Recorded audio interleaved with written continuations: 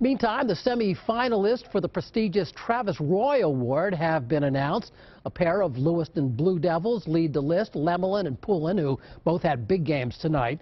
The other semifinalists are Justin Courtney of Bangor, Cam Healy of Brunswick, Biddeford's Nick uh, Lemieux, Cam Loisel of Scarborough, Andre Clement of Falmouth, and Thornton Academy's Alex Fallon.